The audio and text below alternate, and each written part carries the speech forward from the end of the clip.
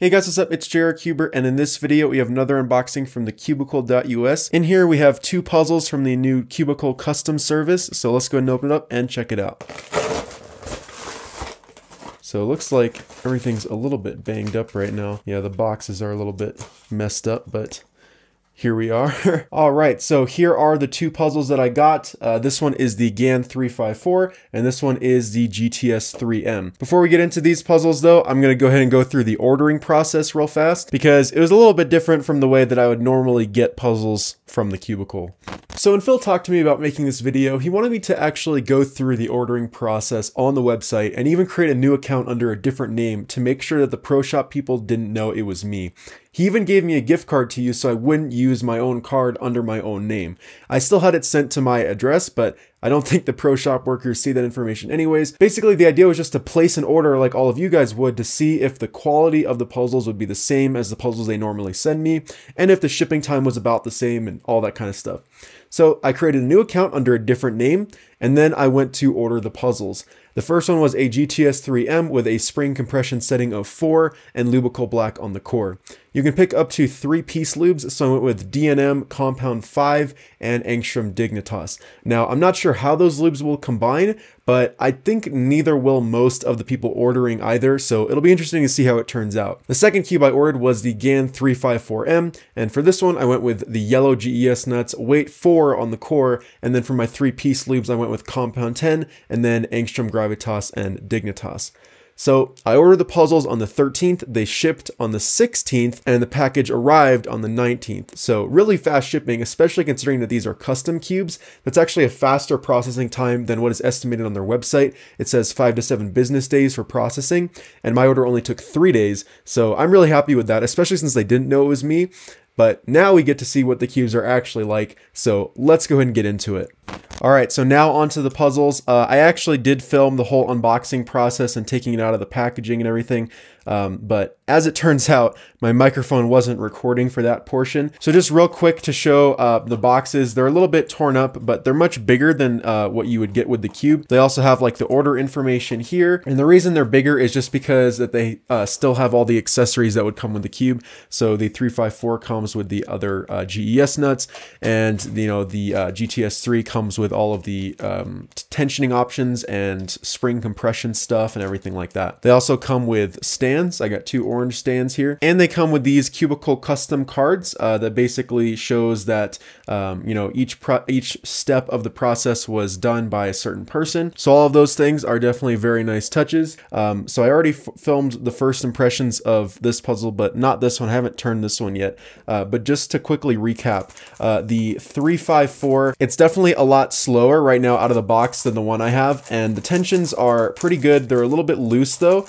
Um, they're really not all that much looser than the, the puzzle that I have, but because the cube is slower, uh, the looser tensions are more noticeable because like you're putting more force into making the turns, which can kind of make like the layers kind of split apart a little bit more when you're turning it. Uh, I don't know, it's just more noticeable to have loose tensions on a slower puzzle. Basically, the lube choices that I made with this one were just kind of like totally random. Um, well, kind of like I, I went with an old lube for the core, so I did like weight 4, which is like a super old cubicle lube. Uh, and then for the pieces, I went with like three newer lubes that are kind of like slower lubricants, like uh, at least some of them are, but they're just newer. So I went with Compound 10, Angstrom Dignitas, and Angstrom Gravitas.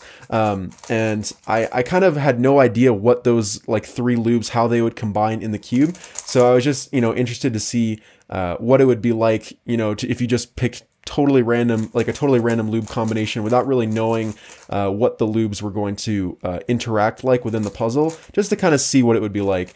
Um, so the puzzle is okay out of the box. Um, I'm hoping that, you know, the, like the more I'm turning it, I've been turning it a lot in this video, and the more I'm turning it, the faster it's getting, of course.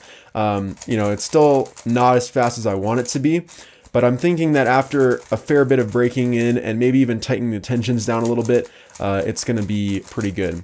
Um, another thing is I did get this with the yellow nuts just because those are the ones that I prefer because um, I've tried the green and the yellow nuts and I definitely like the yellow more. So that's just what I went with for this cube. And then for this cube, the GTS 3, I actually wanted to do something that was maybe a little bit more practical just because I don't have a uh, properly set up GTS 3M yet and I still want to review this puzzle. So this one has a spring compression of four. So there's basically eight levels of spring compression. So I got one that was right in the middle. For the core, I got Lubicle Black. And then for the pieces, I got DNM 37, Compound 5, and Angstrom Dignitas. So all lubes that are meant to be make the cube faster and smoother and stuff like that. Um, so hopefully these lubricants will, will work well in here. Um, let's just go ahead and try it out.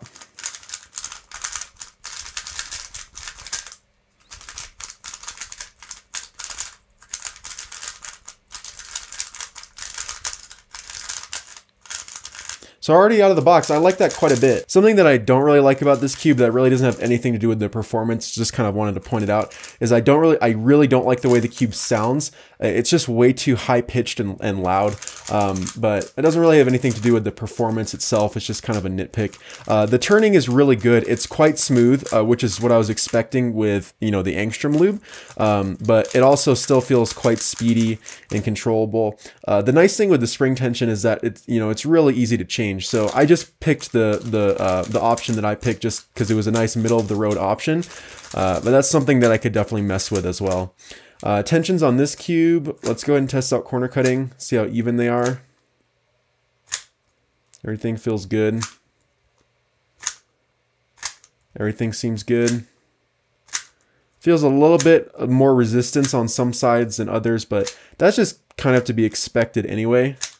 Uh, but overall, I mean, like, there's no sides where it can't cut past 45, so that's definitely a good sign. This one, you know, this side definitely has a little bit more trouble, trouble, but overall, it's it's pretty similar.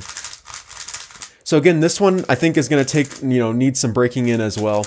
Um, but yeah, basically the whole idea uh, for this was just to order cubes without the pro shop knowing that I'm the one getting them. Um, basically, a lot of people feel like the testers get preferential treatment in the way that their cubes are set up. And so this was kind of an experiment just to kind of show that we don't. Of course, it isn't really possible to exactly prove that, you know, if they knew I was getting this cube with this exact setup, it would be different than if they didn't know. Um, you know, just because it's not the same setup that you would get with one of their like pro shop cubes. People just get an idea that, you know, because I'm a tester and because I have a bigger channel, uh, that, you know, they're going to spend more time on the puzzle that they send to me than a puzzle that they're going to send to, you know, a normal customer, which from what I can tell is not true. These cubes seem just as well set up as any puzzle I've received from the cubicle in the past. Um, you know, I'm not noticing any major differences, so I don't think it really makes that big of a difference as people seem to think. Another thing I wanted to point out is these logos. These are super, super nice logos. You can kind of uh, like look at it from any angle and it still like makes sense, you know, like it doesn't really have one like right side up or anything. So I think it's a really well designed logo, especially for a cube that's always being held in different orientations. Um, so yeah, well done to Damien. I'm pretty sure he's the one that designed the logo. So that's pretty cool. Anyways, I'm to go ahead and go solve with these cubes a whole bunch, and then I'll come back and let you guys know more about the Cubicle custom service, more about the new Cubicle website, and more about how these cubes perform in the long run as well. Okay, so it's been about a week or so since I unboxed the cubes, so I've had some time to break them in at this point. So I just want to talk a little bit about how both of these cubes are currently performing over top of these solves I just recorded, so let's go ahead and get started. So starting with the GTS3, after I unboxed it and started solving, I initially actually didn't really like it that much. It was just way too sluggish and didn't seem to be getting any faster. I figured this may have been due to the Lubicle Black, which was on the pieces, so I wasn't really sure how to fix it. I ended up cleaning out a tiny bit of the lube, really not that much. I only wiped off like three pieces and then redistributed everything and broke it in a bunch more. It took a bit of time to really break in, but it finally started getting faster after I started getting used to the speed, and right now I actually really like it. It's not as fast as my other GTS 3, but I actually prefer the custom one more because it has a much more controllable and smoothed out feel. So performance has been really solid and I haven't dealt with too many locking problems and I'm really starting to like the ridges as well. They seem to actually help a little bit instead of just being there to look cool or anything like that. Uh, and I've been able to get some pretty great times with it, including a 10.2 PB average of 12, which was really nice. So I'll be doing a full review on this cube after the 356X, so look out for that as well. So now onto the custom GAN 354. This is a similar story to the GTS3. This cube was just way too slow even after the first 100 solves or so of the break-in. I didn't actually clean anything out of this puzzle. The only adjustments I made were to the tensions. I actually tightened it up quite a bit, but it's still able to corner cut just fine. I just had to keep on solving with the puzzle and finish the break-in process, and at this point it's actually decently fast, but very, very controllable. I find it to be much more controllable than my faster stock 354, which I'm actually not sure if I prefer on this cube in particular.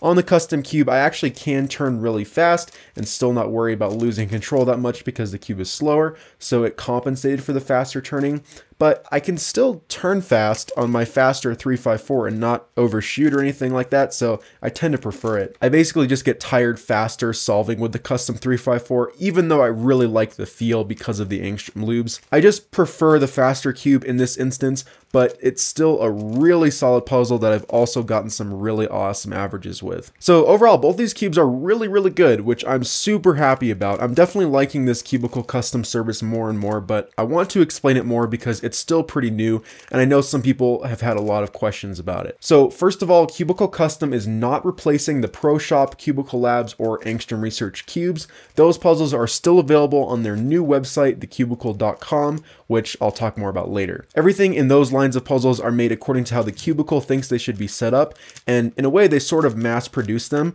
So they make them in bulk so that if you order a Pro Shop or Cubicle Labs or Angstrom puzzle, it'll be able to be shipped out faster. The custom line is so that you can really make sure that the cube is going to be set up how you like, or maybe if you want to try a new lube combo but don't have all the lubes do it yourself, or anything like that. I still think it's a great option for people like me that suck at setting up cubes and would just rather pay to have someone who's much better at doing it do it for me. And that's why these cubes have a premium price because the cubes have to be custom made, especially if it's a puzzle that needs to be magnetized and restickered. Unfortunately, I didn't get a cube like that because both of the cubes I chose were pre-magnetized and stickerless, but if you say ordered a GTS2 and you wanted stronger magnets, it would cost 20 extra dollars and 10 extra dollars to replace the stickers. So a custom GTS2 would actually end up being more expensive than a custom GTS3 because more work has to go into making it. Basically, you can either pay less to get a cube that is set up how the cubicle likes it and just hope that you like it as well, or you can pay more to have full control over exactly what goes inside the puzzle if you know what lube combo you want or something like that. I've also seen that people have been complaining about the price a bit, which I'm not totally understanding. For example, a Cubicle Pro Shop Weilong GTS 3M is $39, but a Cubicle Custom GTS3 is $46. So really not that much of a difference considering you get to choose exactly what goes in the cube. It's a little bit different when you compare prices of cubes that have to be magnetized though, and I think this is where some of the confusion really occurs. For example, a Cubicle Labs YuXin Little Magic in black is $23, but a custom Little Magic with the exact same configuration as the Cubicle Labs Little Magic is $43. So I have no idea why it would cost $20 more for the exact same cube, uh, I think it would just make a lot more sense if you chose the same configuration in the Cubicle Custom website as one of the pre-made cubes. It should cost the same amount. It would make way more sense for it to cost more if you chose a different magnetic option or a different lube option from what is normally used in the Cubicle Labs options. That's really just a nitpick though and something that I'm sure they could update with the website. It still makes sense if you're choosing a different lube combo from what they've pre-made because now they have to go and make it specially for you, which is going to cost extra. Overall though, I really don't think the price is that outrageous. If you want to go and buy a cube, buy the magnets, buy the stickers, and buy all the lubes you want to put in the puzzle and do it all yourself, that's totally fine and you can still definitely do that. But there are a lot of people that just don't want to do all of that, like me, which is where this service really comes in. I think there are still some bugs to work out and some tweaks that can be made, but I think it's definitely a step in the right direction for cube customization options in the future. Okay, so now I want to talk about the new website because that's also caused a lot of confusion. So recently, the Cubicle launched their new website, thecubicle.com, but but they also haven't shut down the old website, thecubicle.us. So why is that? Well, basically, the way I understand it, the old website is being used for cubicle custom, stickers, spare parts, stuff like that, and the new site is for everything else. So if you click on any of the products on the old website, it will just redirect you to the new website. I think the thing that's been confusing to people from what I can see is that all of the Cubicle Labs, Pro Shop, and Angstrom stuff has disappeared from the old website, and now it's just Cubicle Custom. But if you go to the new website, all of those things are still there. So I want to take this opportunity to give a quick tour of the new site as well. So here we are on the homepage. Basically everything on this main page looks pretty similar to the old site. It's just a new design with all the categories running along the top instead of on the side but we can see the same announcements area, featured products and brands, and new arrivals. When you go to shop for different kinds of puzzles, you can see a new way of sorting the products along the side with a whole bunch of criteria that you can pick from. When you click on a product, you can see the new way that all the information is organized. There's also a lot more bundles that they've just added on the new site, which are always great to look at with the holiday season upon us now. Basically, everything just looks cleaner and newer and nicer. It's a lot more streamlined now on both sides, actually. Since there aren't any custom cubes on the new site as of yet, processing time will actually be faster for all of you guys since everything you can order on the new site are stock products, including the premium stuff, because like I said earlier, that stuff is all made ahead of time. So over the winter, the two sites will be separate, but they'll be permanently merging after that, so it'll just be one website, which will definitely be a lot simpler. One thing that I'm not particularly a fan of is that your login credentials don't carry over from the old site, so you do have to make a new account, but really it's not that big of a deal. It's just something that would have been nice, but I also understand why it wouldn't work. But overall, I think the new site is going to be really good in the long run. There's just been a bit of an adjustment period that's been going on and it'll probably continue to go on until the sites are totally merged. Anyways, guys, that's really about it for this video on these two custom cubes and the new Cubicle website. Definitely be sure to check out the custom cubes if you're interested. I'll leave a link to the Cubicle custom page in the description, and of course to the new website so you guys can go and explore it and shop on it all you want. Thanks, of course, to the Cubicle for sending me these cubes for free to review, and of course for sponsoring the video. If you guys like this video, make sure to hit that like button, turn notifications, and subscribe if you haven't already. Thanks for watching, guys. Bye.